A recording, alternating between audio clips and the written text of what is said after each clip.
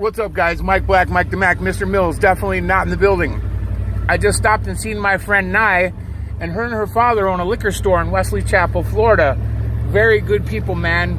They, um, Lebanese woman, very beautiful. She speaks Arabic, but she's not Muslim. She's Christian, which doesn't matter to me. I wouldn't care if she was Muslim or not. And it's just called Liquors. I'm going to have to get a correlation from Naie to better promote their business so that I know the actual name. But it's just on Wesley Chapel Boulevard, just uh, east of I 75.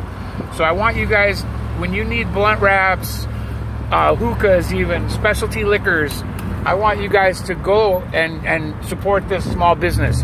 It's uh, owned by a, a, a, father and run with his daughter.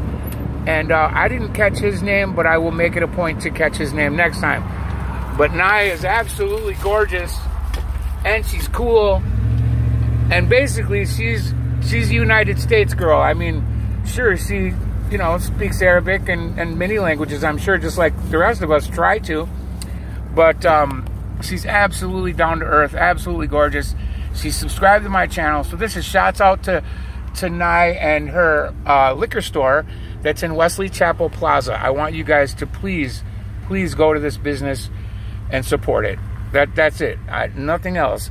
Um, when you see a beautiful, beautiful black-haired woman behind the counter with with uh, round glasses and and pretty skin I mean, God, she's amazing and she's just delightful and friendly as all heck. So please support this business, you guys. This is Mike Black. I'm gone. Thank you. Remember to like, share, and subscribe if you like what I do here.